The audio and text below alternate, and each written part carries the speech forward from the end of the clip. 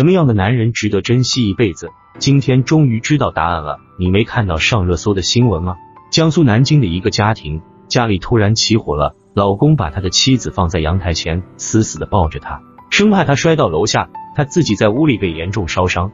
老实说，看了后我有点感触，眼红了。俗话说，夫妻本是同林鸟，大难关头各自飞。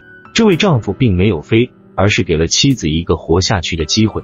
这样的男人。真的是有责任心，是个爷们。其实我觉得他就是我们中国大部分男人的缩影。相信每个男人都会义无反顾的牺牲自己来保护自己心爱的人。为什么要谈这个话题？因为经常看到很多女朋友在网络上抱怨、鄙视自己的丈夫，甚至给他们零分和不及格。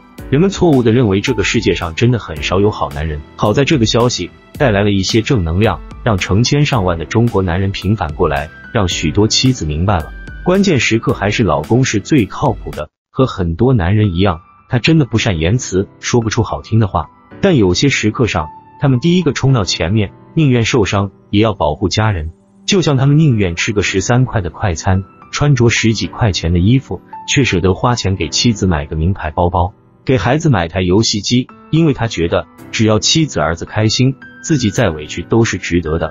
他情愿一个人自己吃苦，也不让家人受苦受累。这是你们心目中的好男人吗？所以也希望手机屏幕前的女人们能对自己的老公多一点包容和理解，少一点埋怨。袜子穿的舒不舒服，只有自己知道。自己的老公可不可靠，在关键的一瞬间你就知道了。